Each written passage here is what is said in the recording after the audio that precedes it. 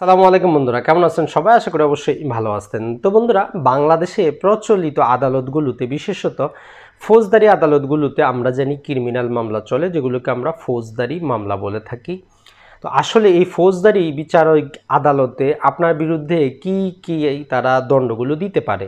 আঠারোশো ষাট সালে যে দণ্ডবিধি আছে, সেটাতে আজ পর্যন্ত দু হাজার বিশ সালে কি কি দণ্ডগুলো আছে, কি, কিগুলো বাতিল করা হয়েছে। তো জাস্ট আজকে আমরা দেখি একটু বিস্তারিত। তো বন্ধুরা, সর্বপ্রথমেই বলব, আঠারোশো ষাট সালের দণ্ডবিধির যে তিপ্পান্ন ধারা আছে, সেখানে বর্তমানে পাঁচ প্রকারের শাস্তির বিধান দেওয়া আছে। যদিও পূর্বে আরও বেশি ছিল, এখন সম্পূর্ণ কাটছাট করে পাঁচ প্রকারের শাস্তির বিধান দেওয়া আছে। এক নম্বর হচ্ছে যে মৃত্যুদণ্ড। বিভিন্ন অপরাধের কারণে আপনার মৃত্যুদণ্ড হতে পারে। তো যেমন আমরা দেখলাম যে সম্প্রতি নারী এবং শিশু নির্যাতন আইনের যে সর্বোচ্চ শাস্তি, সেটাও মৃত্যুদণ্ড করা হয়েছে। তো এই মৃত্যুদণ্ড ক্ষেত্রে নানা প্রকার দীর্ঘপথ অবলম্বন করতে হয় এবং যার মৃত্যুদণ্ডাদেশ হয়েছে, উনি বিভিন্ন প্রকারভাবে আদালতের মাধ্যমে প্রতিকার পেতে পারেন অথবা সর্বশেষ সংবিধানের উনপঞ্চাশ অনুচ্ছেদের ক্ষমতা বলে রাষ্ট্রপতির কাছে প্রাণ ভিক্ষা চাইতে পারেন।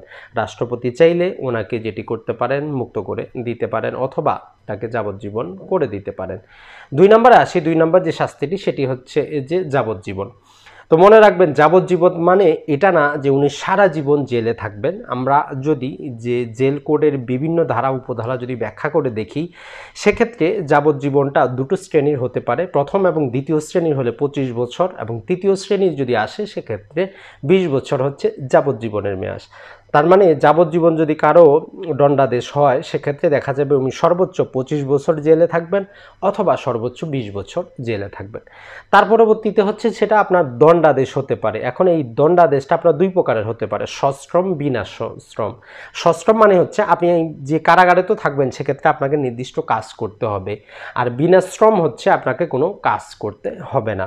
চার নম্বর যদি দেখি, সেটি হচ্ছে আপনার সম্পত্তি বাজেয়াপ্ত হতে পারে। বিভিন্ন প্রকার কারণে আপনার যা সম্পত্তি আছে, স্থাবর, অস্থাবর, এগুলো বাজেয়াপ্তের আদেশ হতে পারে।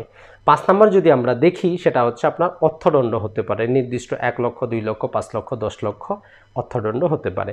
তাহলে আমরা আঠারোশো ষাট সালের যে দণ্ডবিধি, যেটি বাংলাদেশের সংবিধানের একশো উনপঞ্চাশ নম্বর ক্ষম অনুচ্ছেদের ক্ষমতা বলে, এখনও বাংলাদেশে কার্যকর।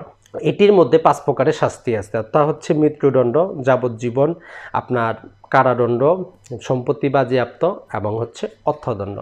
ভালো থাকবেন, সুস্থ থাকবেন। আমরা ট্রাই করব যে আইনের খুঁটিনাটি বিষয়গুলো আপনাদের সামনে খুব সহজ এবং সুন্দর ভাষায় তুলে ধরার জন্য চ্যানেলটির সাথে থাকার জন্য আপনাকে অসংখ্য ধন্যবাদ।